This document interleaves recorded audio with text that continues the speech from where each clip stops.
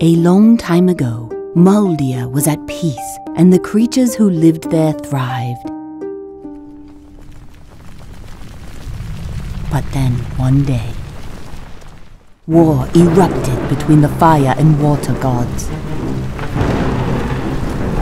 Mouldia plunged into chaos, and the fighting continued until only steel and iron remained. After some time, the goddess of rebirth stumbled upon these ruins and tried to use the scattered stones to save the once beautiful Mouldia. Unbeknownst to her, the masters of Mouldia lay quietly asleep, waiting once more to be awakened.